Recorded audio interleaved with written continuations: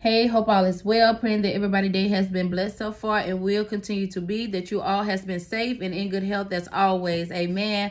Well, I don't have a topic at the moment because I was sitting there in prayer and talking to God, and there's some things that God has said. You know, get up and share that with them because this is like the second or third day He have been, you know, talking to me concerning it, and so I, I said, okay, let me get on here and share this word because this somebody's word. Amen. But before I get into it, allow me to say a quick prayer. Heavenly Father, thank you for this day. Thank you for joy and peace. Thank you, Lord. Lord God, for success. Thank you, Lord God, for keeping your right hand upon us. Thank you for encouraging us in you, oh God. But Father God, I ask that you forgive us for shrinking our dreams when the enemy attack our mind, when we feel like we when we don't have what we need, Lord God. That's just a feeling, Lord God. And we know that it's a lie. But Lord God, we thank you for the things that we do have. We thank you for the doors that you have opened for us, Lord God. And Lord God, may we never shrink just because the enemy attack our mind. Keep us motivated in you. Keep us walking into your promises oh god in jesus name. The bible tells us that we can do all things through christ who strengthens us. So lord god as we walk in you we ask that you continue to strengthen us. And we know that you don't give the battle to the one that is strong but to the one that will endure. So help us endure in this season. In jesus mighty name i decree and declare that's done. Well you all i was sitting there talking to god or whatever and i was just telling him how i done planted so many seeds and so many times I had to stop doing something that I started doing and work on something else and hopefully that'll work out better than the last time that something that I planted last time, that seed that I planted last time. I hope it work out better than that. And I'm just sitting there thinking like I got so many seeds out there and it seemed like nothing was working for me. And I said, God, I'm not asking you for a lot. I'm not dreaming that big no more because I don't know if that's necessarily what you have for me. So I said, okay, God, am I praying the way you want me to pray? Am I praying for the things that you want me to pray for? Is my heart in the right place? And so God told me, you praying for the exact same thing he placed down in you. You wouldn't be praying for those things if he didn't place them in you. That wouldn't have never came to your mind to be whatever it is that you was trying to do. The reason why he had you to plant some seeds, leave it alone, go plant another seed, leave that alone, go plant another seed because he conditioning the soil for your seeds. Amen. God said he wants you to uh, prosper. Amen. And everything and let me tell you, the condition of the soil determines the growth of the seed. Amen. So therefore, God was only conditioning you and the seed. Amen. He said, Prepare for what you prayed for. You praying for the right things. You is on a good road, but he need for you to keep dreaming big. Do not shrink just because you're in need of something right now. You feel like you want better and you want a little bit of something. You're not being ungrateful and you don't want to be, you know, trying to overrule God or overstep him. So therefore, that's why you shrunk a little bit. Amen. You let the devil try to uh win a little bit, but he ain't gonna win. Amen. But anyway, the Lord led me to Mark 4. And this is the par parable about the sower. And it says, I'm, I'm in Mark 4, I'm going to start reading at verse 3. And it says, Listen, behold, a sower went out to sow. And it happened as he sowed that some seed fell by the wayside. And the birds of the air came and devoured it. Some fell on stony ground where it did not have much earth and immediately sprang up because it had no depths of the earth. But when the sun was up, it was scorched. And because it had no root, it withered away.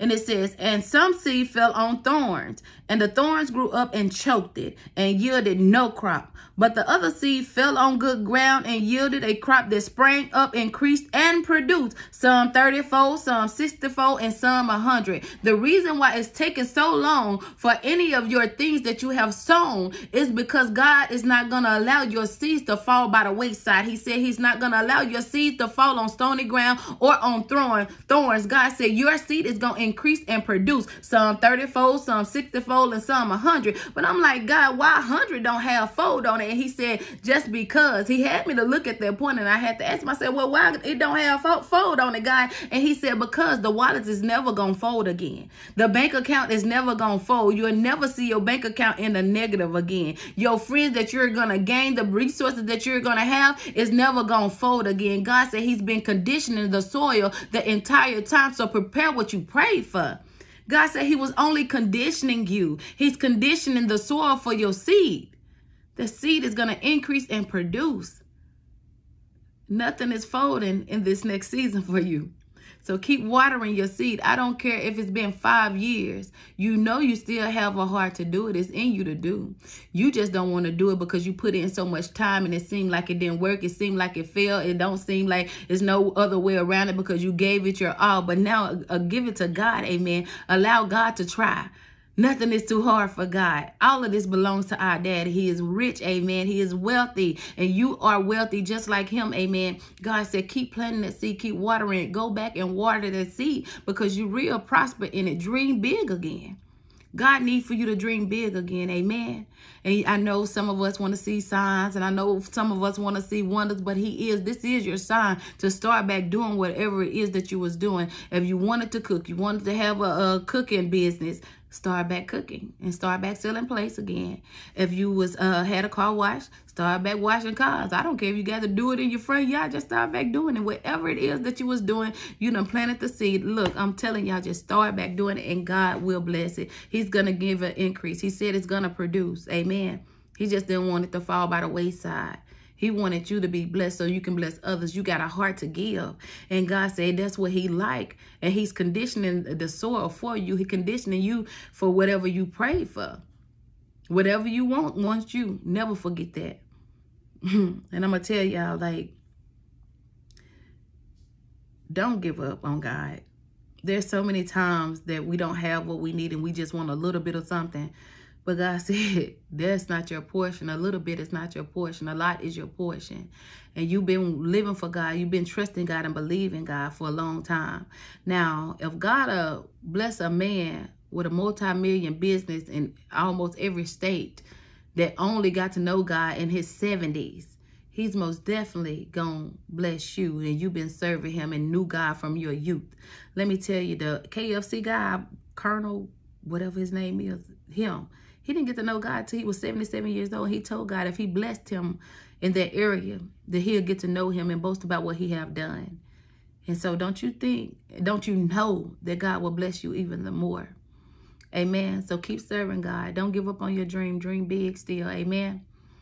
The wallet is not going to fold. The bank account is not going to fold. Some 30, some 60 fold. But that 100 God giving you that hundred. Amen. So I'm to ask God to, you know, send signs and wonders for his children that's starting a second guess. Is that what he have for them? It's, it's what he have for you. Amen. We all want to see a sign. We all want to see a wonder. But God, the Bible tells us, it's this, these signs shall follow those who believe. So keep believing, amen. Keep dreaming big. In the mighty name of Jesus. I'm trying to allow the Holy Spirit to, you know, give me all he gonna give me. Going and send down them downloads because i hate to get off this video and he give me something else and then i'm right back up here. Amen.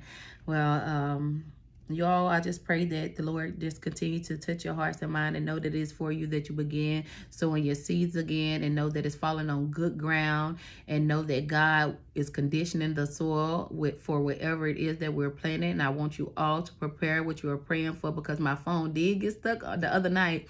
And i was like why is my phone stuck you know, on this, I'm talking about it was froze and it was just saying, prepare what you pray for. It was a black screen and I can see the words. It said, prepare what you pray for. And I said, okay. And so that's probably why you're feeling so much pressure and, you know, you feeling like alone at times and all that good stuff. But God said, your time is coming. Amen. A hundred. We ain't folding nothing. In Jesus' name. God bless.